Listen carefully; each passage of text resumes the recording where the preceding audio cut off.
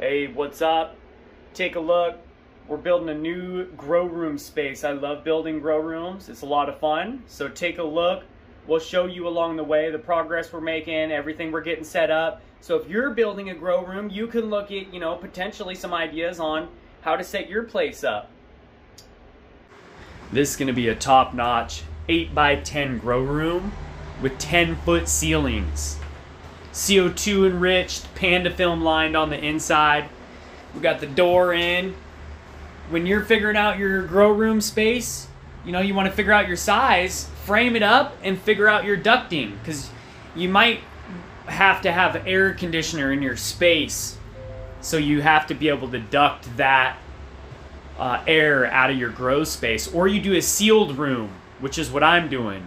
This is a sealed room here. We got the door on the front.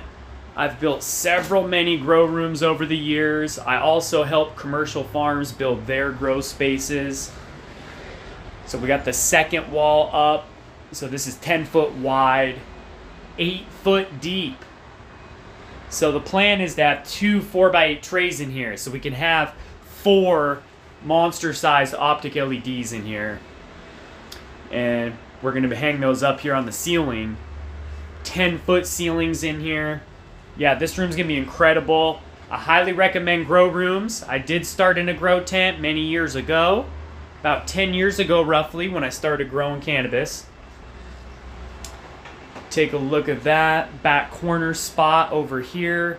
So we're to have to get drywall up on this bad boy. Finish it. I'm to hang a TV right there because I got a couch that's right behind me over here.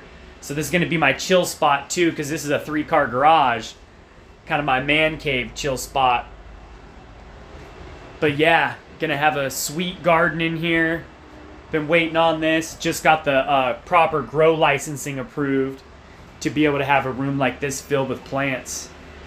So we're to be having the upcoming uh, Pound Game Grow series upcoming on the West Coast Cannabis YouTube channels on this footprint here.